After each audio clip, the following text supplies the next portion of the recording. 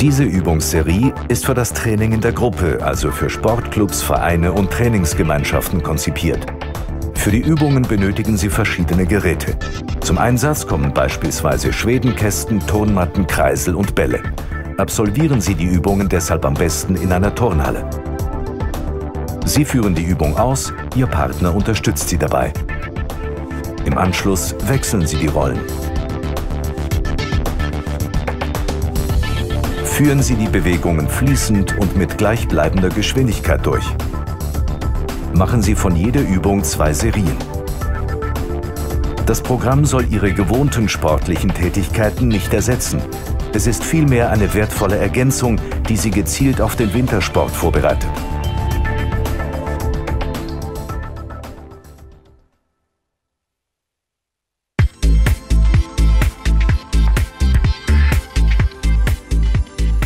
Sie die Ausgangsstellung ein.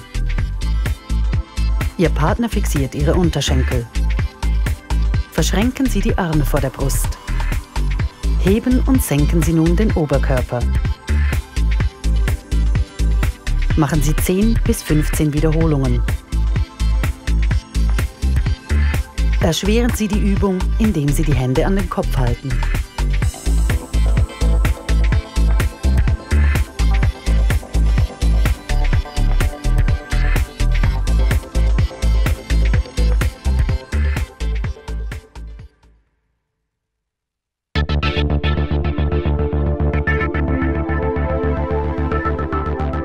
Legen Sie sich auf den Rücken. Ihr Partner fixiert Ihre Schultern. Strecken Sie die Beine und drehen Sie sie von links nach rechts.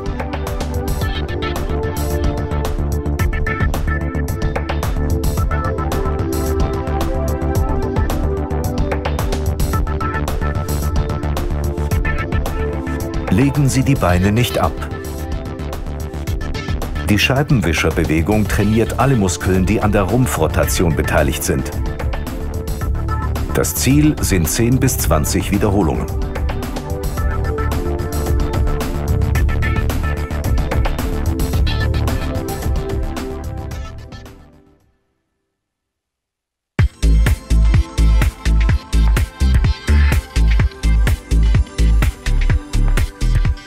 Legen Sie sich seitwärts auf den Schwedenkasten.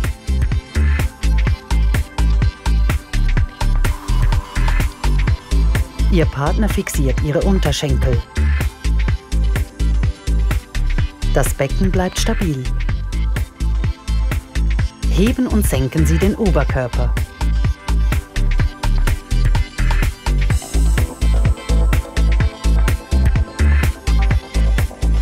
Je größer das Bewegungsausmaß, desto anspruchsvoller das Training. Machen Sie 10 bis 15 Wiederholungen pro Seite.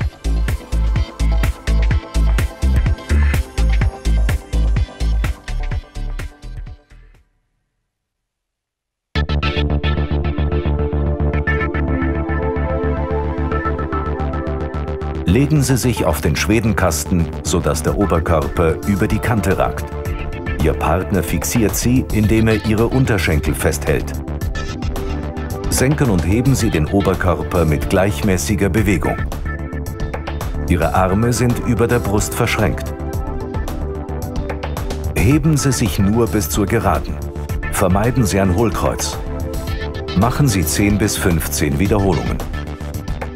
Sie können die Übung steigern, indem Sie die Hände an den Kopf halten.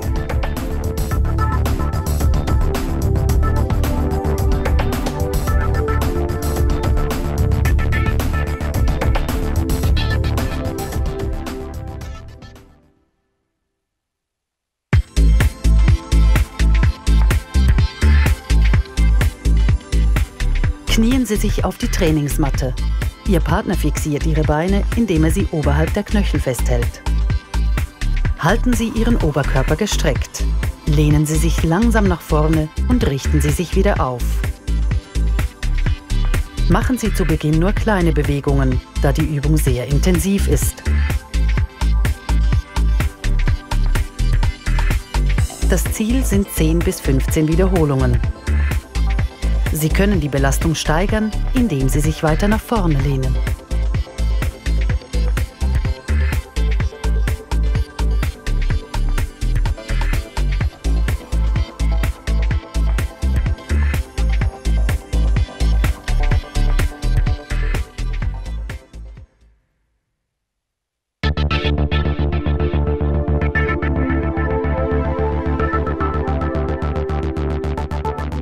Begeben Sie sich in die Schubkarrenposition. Stützen Sie sich mit den Händen ab, Ihr Partner umfasst Ihre Knöchel. Gehen Sie auf den Händen.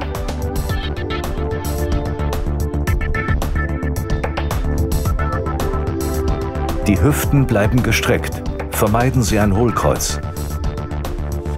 So wird die Ganzkörperstabilisierung trainiert. Das ist gerade für den Wintersport sehr wichtig.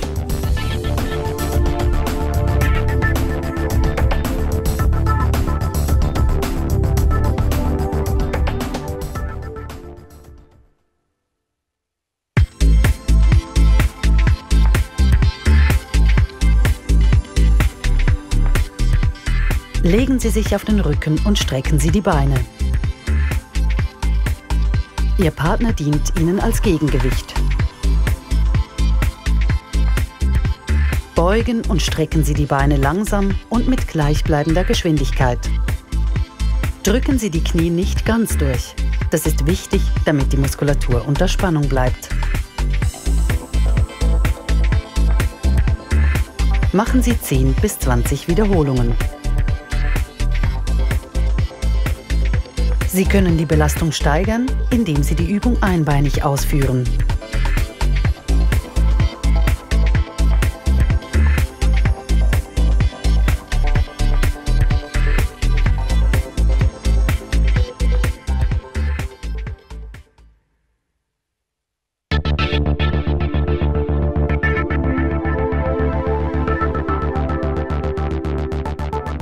Stehen Sie auf eine instabile Unterlage und halten Sie das Gleichgewicht.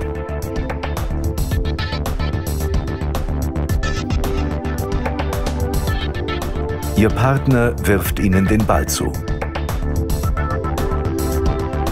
Die Koordination wird optimal trainiert, wenn der Ball aus verschiedenen Richtungen, mal nach unten, mal nach oben geworfen wird.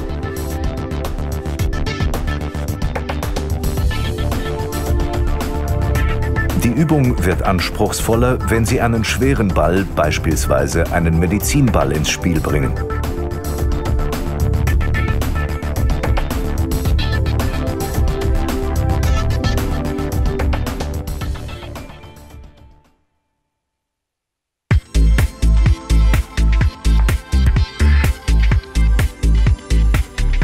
Ihr Partner hält sie an einem Bein fest.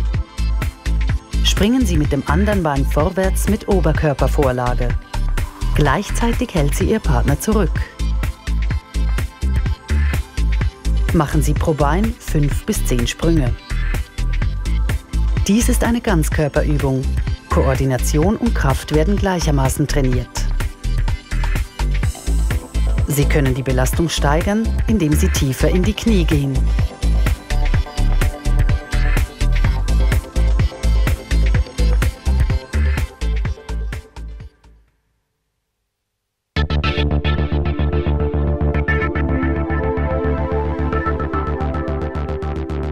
Die Sprungschule ist eine wichtige Vorbereitung für den Wintersport. Passen Sie die Kastenhöhe den individuellen Fähigkeiten an. Springen Sie mit beiden Beinen vom Kasten auf den Boden und weiter zum nächsten Kasten.